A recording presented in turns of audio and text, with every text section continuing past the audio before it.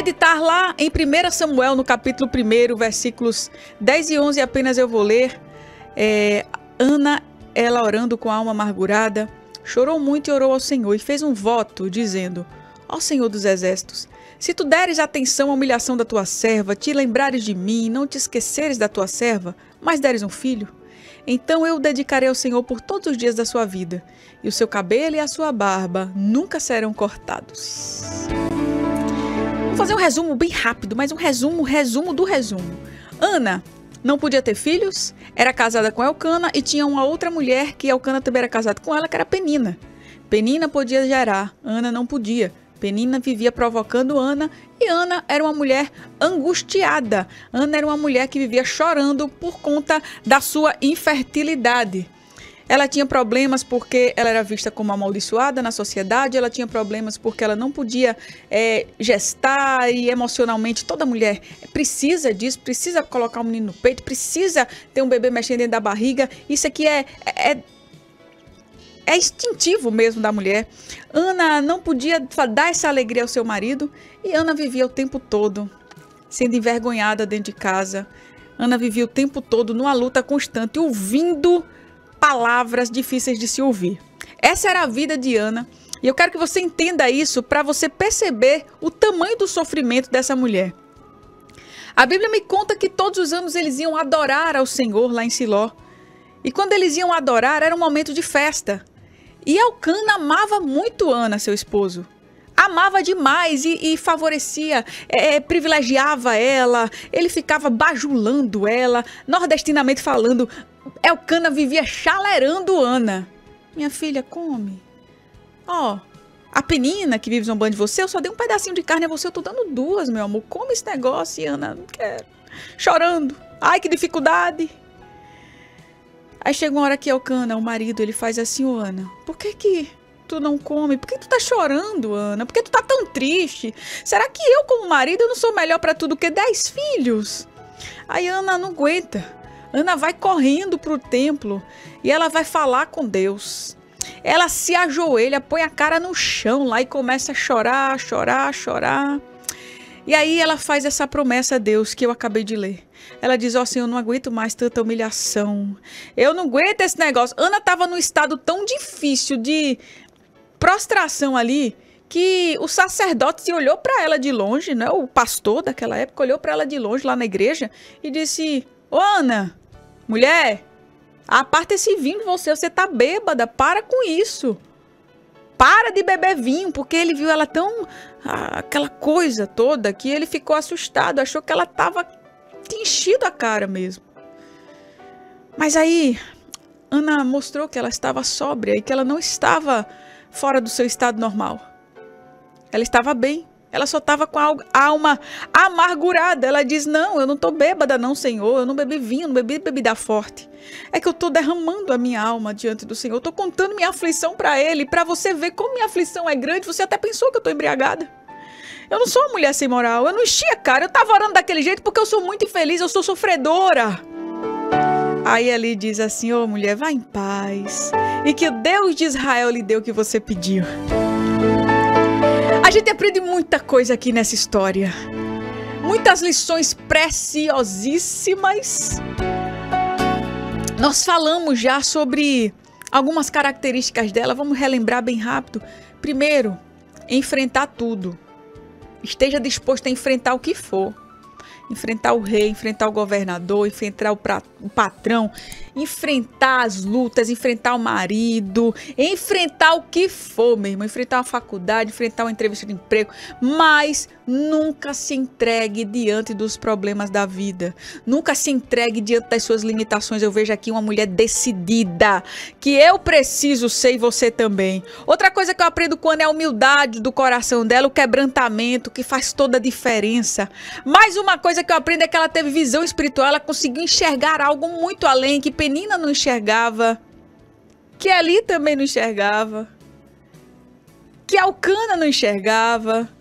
Ela conseguia enxergar que ela tinha um Deus que podia fazer o que os médicos não podiam mais fazer, o que Alcana não podia mais fazer. E aí a gente aprende que nós precisamos também enxergar que nós temos um Deus que pode fazer muito mais do que aquilo que eu penso e é fazer o que ninguém mais vê. Se ninguém mais crê, continue crendo. Recebe essa palavra. Amada, se ninguém confia, continue confiando e esperando. Se todo mundo já disse não tem mais jeito, acabou, não tem solução mais não, deixa de ser besta, vai ver tua vida. Diga assim: eu continuo confiando. Eu continuo esperando. Porque eu vejo que ninguém vê. Eu vejo o Deus do impossível em mim, comigo. Todo-Poderoso é comigo. Foi o que Ana fez. Ela disse: Epa, o Todo-Poderoso é comigo para fazer aquilo que o meu coração deseja agora. O que eu tiver é para Deus. E quando Deus olha para a gente e vê que a gente usa tudo que nós temos e usaremos tudo que nós teremos para a glória dele, meu irmão. Oh, aleluia!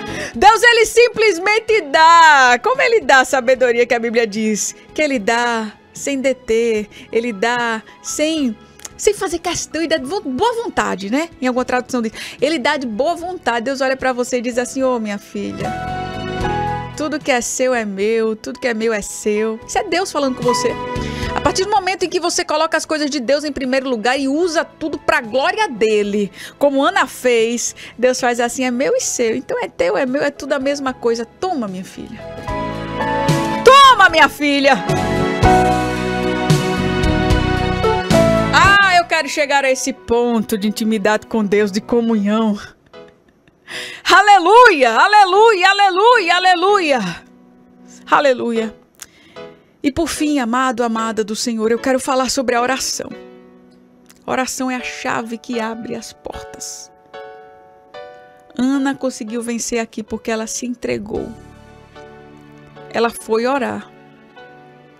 Ela foi orar. Ok, Clarissa, eu sempre escuto a Rádio Novas de Paz, eu sei que eu tenho que orar. Mas tem algo que não me deixa orar. Tem algo que me pede ou talvez você ainda é mais sincero. Você diz assim: Eu não gosto de orar. Tem pessoas que chegam a esse nível de sinceridade. Eu não gosto de orar. Eu até tento, mas eu não consigo. Eu passo cinco minutos, me dá agonia, rói a unha, o joelho dói. Eu me sento, mas eu começo a pensar nas lutas. Eu começo a pensar no trabalho. Eu não gosto. Eu, não, eu já, já decidi mesmo que eu. Já tá no meu coração assim, sabe? Que eu não, não é para mim esse negócio de orar. Pois bem. Quando você fala assim, você está sendo sincero. Parabéns a você que chegou a esse nível de sinceridade com você mesmo. Mas deixa eu falar uma coisa para você. Quando você fala assim, você está falando com a sua natureza humana e você está 100% certo. Porque essa é a tua natureza humana. A tua natureza humana, ela ela quer ficar distante de Deus. A tua natureza humana, ela detesta as coisas espirituais. A tua natureza humana, ela só quer dormir, ela só quer comer, ela só quer é, é, é viver uma vida sexual depravada, né? Como aquele vídeo lá da, daquela atriz Maria Flor. Não sei se você chegou a ver, eu postei na rede social. Que mulher maluca. Que mulher endemoniada. A Pombagira tá ali explicitamente falando da boca dela. Ela sai falando do carnaval, ai, como eu queria fazer isso, como eu queria fazer aquilo, me esfregar desse jeito, fazer isso. Meu Deus do céu, não tem nem como falar aqui o que ela falou. É vergonhoso. Isso é a nossa natureza humana. E todas as vezes que eu alimento minha natureza humana com o pecado e o pecado e o pecado, cada dia mais eu me torno mais distante de Deus. Cada dia mais eu fico mais corrompida. Cada dia mais eu fico mais depravada. Cada dia mais eu fico mais feia, mais suja, mais terrível. Cada dia eu amo menos as pessoas, eu me importo menos com as pessoas, com o povo. Isso se eu for dando vazão aos meus sentimentos. Essa é a nossa natureza humana. Somos inimigos de Deus, afastados de Deus. Mas dentro de nós também existe o Espírito Santo de Deus para nos auxiliar. Nós temos também uma natureza espiritual. O problema é que muitas vezes nós negligenciamos o alimento para ela, entende? Mas aqui tem alimento do céu para você. Para você cada dia ficar mais forte com Jesus. Para você cada dia estar mais perto dele para você começar a lutar contra si mesmo, vencer o pecado e vencer a sua vontade, estar distante de Deus. Você pode dar um glória aí para Jesus?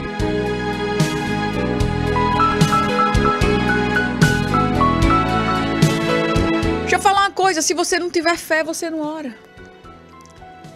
Se você não tiver. Se você não amar Jesus, você não ora. E como é que eu faço? Amar de ser uma luta. E luta não é dormindo, luta não é descansando, luta não é confortável, sabe? Eu digo a você nessa manhã que você simplesmente tem que decidir.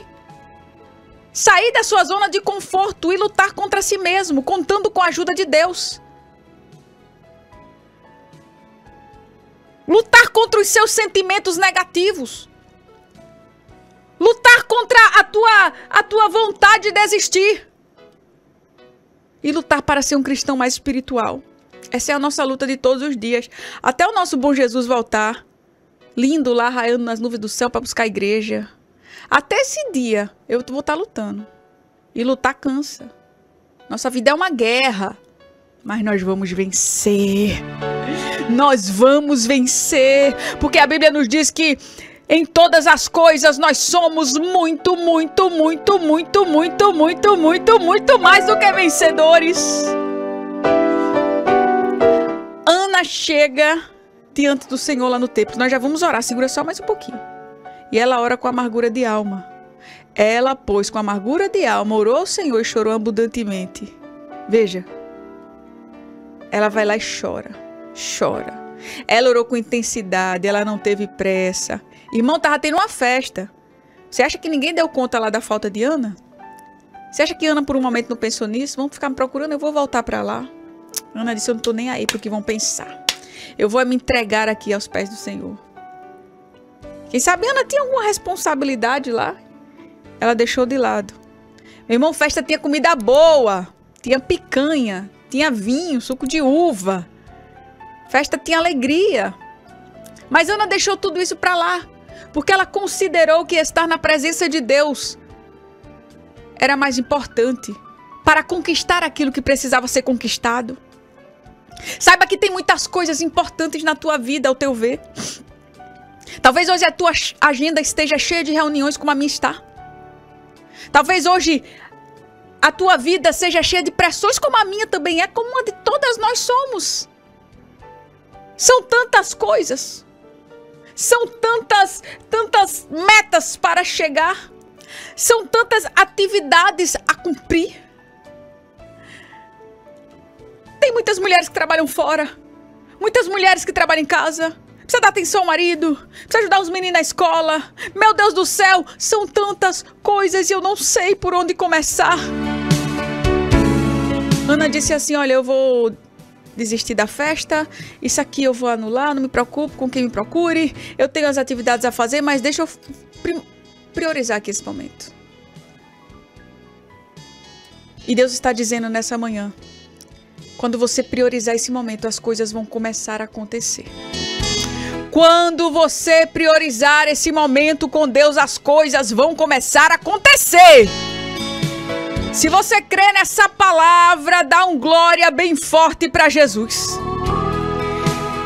Quando você começar a priorizar a presença de Deus, as coisas vão começar a acontecer. Ana estava aqui, sem pressa. Chegou na presença de Deus, orando com amargura de alma, chorando com intensidade e abundantemente. Meu irmão, você sabe o que é chorar abundantemente? A mulher estava tava acabada. Ela estava dizendo: Deus, por favor, Deus. Atenta para a aflição da tua serva, Deus. Só que ela não estava falando assim como eu estou falando. É tanto que ali não entendeu o que ela estava falando. Ela estava. Não aguentava, não, não saía palavra, mas o coração dela estava dizendo algo a Deus.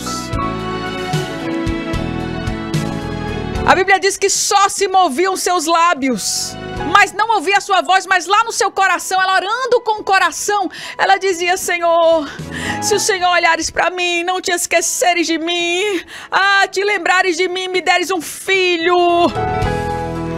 Será teu, Senhor, por todos os dias, sobre a sua cabeça não passará navalha. Ela estava fazendo ali promessas a Deus, derramando a sua alma perante o Senhor. Aleluia. Quando você priorizar esse momento, as coisas vão começar a acontecer. Foi assim com Ana.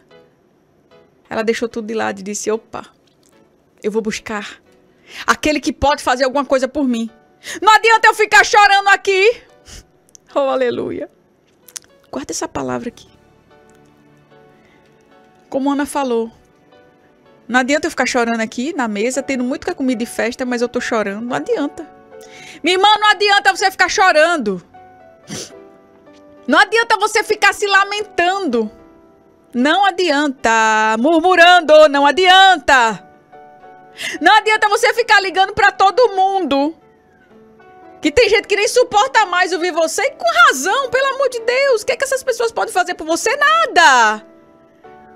Lá no salão, a mulher não aguenta mais quando tu chega, porque tu fala tudo da tua vida. Não adianta. Não adianta tua vizinha, quando ela vê você saindo, ela entra. Não adianta nada. Não adianta. Deixa eu te conscientizar, conscientizar disso. Ana disse assim: não adianta eu ficar aqui na mesa, mesmo recebendo a poção dupla, mas eu tô chorando por dentro. Não adianta eu ficar aqui. Não adianta também eu ficar na minha cama o dia todo, tomando meus antidepressivos, morrendo por dentro, pensando em me matar. Já tô há um mês trancado dentro de casa. Não adianta. Não adianta. Não adianta eu reclamar pra ele, porque ele já sabe da minha dor. Adianta eu pegar ali uma garrafa de vinho da festa e virar pra encher a cara e ficar sorrindo, porque quando eu acordar amanhã, o problema vai estar tá lá do mesmo jeito. Ei, beberrão! Não adianta você afogar sua amargura nessa cachaça. Não adianta nesse copo de cerveja, amanhã o problema tá lá e tá maior ainda. Porque tu vive bebendo, gastando teu dinheiro, se acabando, acabando com a tua saúde, acabando com o teu casamento, tua mulher com raiva de tu, teus filhos não te dão mais crédito. Não adianta! Ana disse: Eu vou resolver. Eu vejo Ana se levantando, dizendo assim: Tá doendo aqui dentro. Mas eu vou despejar toda essa dor nos braços do meu pai. Eu vou despejar tudo que eu tô sentindo nos braços do meu pai porque ele me suporta. A minha vizinha não me suporta mais. A dirigente de oração não suporta mais, porque toda vez eu falo a mesma coisa pra ela. Mas Jesus me suporta! Jesus me suporta, porque Ele é Pai! E nunca que seu pai e sua mãe vai dizer, eu não aguento mais ouvir você. Ele sempre vai ficar buscando alternativas para te ajudar. O pai, a mãe é assim, por isso que Jesus, ele compara a figura dele com a figura da mãe, porque mãe não desiste, Deus não desiste de você. Deus está interessado na tua dor, no que você está sentindo, e ele quer te ajudar. Então, amado, amada, se você tá com a alma amargurada, se essa dor tá profunda no teu coração, se você recebeu uma notícia ruim, uma enfermidade, você tá, tá aí lutando contra ela, não tem cura. Aleluia! É a chave, é a oração. Não tenha pressa. Fale com Deus. Demore ali naquele momento com Deus. Desliga essa porcaria desse celular. Vai falar com o Senhor. Abra teu coração. Conta tudo para Jesus. Sabe por quê? Porque Ele tem prazer em abençoar você. Ele tem prazer e ele quer fazer isso. Mas é necessário você lá nos pés do altar. É necessário você lá como Ana entender que só ele pode fazer. Aleluia. É a chave. A oração é a chave que Deus pôs na sua mão para você abrir a porta da vitória. Isso é que eu tô falando uma simbologia.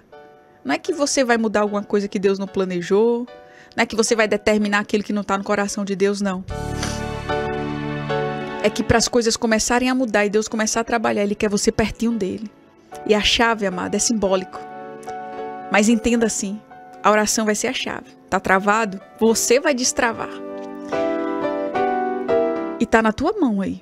É você que escolhe. A decisão é só sua, entende? Vai chorar aos pés do Senhor, Ana. Ana, Vai chorar nos pés de Jesus. Aleluia. Eu já quero orar, mas a gente já passou um pouquinho, mas deixa eu abrir aqui a Bíblia em 1 Samuel, porque eu quero só ler aqui o cântico de Ana para você. Ele é lindo. 1 Samuel, se você está com a Bíblia, acompanha aí. 1 Samuel, no capítulo de número 2, a oração de Ana, depois que Ana recebe a vitória, tá com barrigão. É você no culto do seu, no seu culto de ação de graças. Aí ela começa a cantar, orar, dizer assim: O meu coração agora exulta no Senhor. No Senhor minha força é exaltada. Minha boca se exalta sobre os meus inimigos, pois eu me alegro em tua libertação. Não há ninguém santo como o Senhor. Não há outro além de ti. Não há rocha alguma como o nosso Deus. Versículo de número 4, Ana, ela canta: O arco dos fortes foi quebrado, mas os fracos são revestidos de força. Aleluia. Eu acho que ela estava pensando em Penina aqui quando ela cantou isso. Ela disse assim: o forte se acabou e os fracos, Deus deu força. Os que tinham muito agora trabalham por comida, mas que os que estavam famintos agora não passam fome. Olha o que Ana diz aqui: aqui era estéreo. Deu luz a sete filhos, aquelas que, aquela que a sociedade olhava assim e dizia tem uma maldição sobre a vida dela, aquela ali tá emperrada, não sai do canto, é uma nada, é tapete. Acha que é, mas não é, coitada, tenho pena. As pessoas olhavam com esse olhar. Aí ela diz assim: a, a estéreo. Sete filhos. Sete sete filhos. Mas a que tinha muitos filhos ficou sem vigor.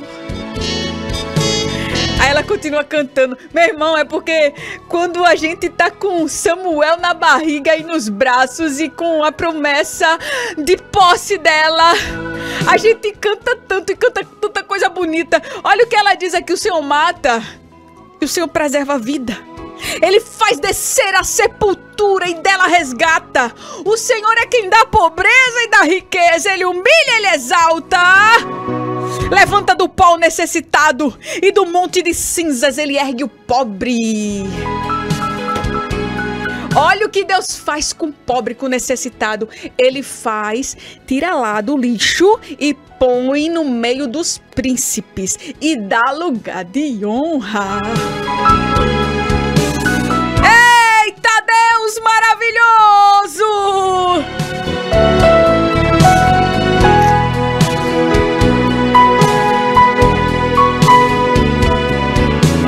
Isso é lindo demais, né? Eu não sei se você tá sentindo o que eu tô sentindo aqui. Alegria, alegria, alegria, alegria de saber que o meu Deus ele faz e que quando ele faz a gente fica igual a criança, meu irmão. Ana cantando, cantando. Ela tava lá no tempo, nem saía a palavra, aquela amargura. E agora Ana tá cantando. O arco dos fortes foi quebrado e os fracos foram revestidos de força. A estéreo deu luz a filhos e a que tinha muitos filhos agora não tem mais força para ter. Eu imagino Ana cantando isso aqui. Você imagina você cantando no seu contenção de graças? Você imagina? Você imagina quando Jesus fizer a obra, você adorando, você inventando música para ele? Você que sabe tocar violão, pegando violão e saindo uma música bem bonita. Ou você quer desafinado, ficar bem afinadinho, cantando, adorando ao Senhor. Você imagina isso aqui? Você consegue crer nisso? Ou você tá achando que eu tô com conversa fiada aqui? Creia, creia, creia, creia.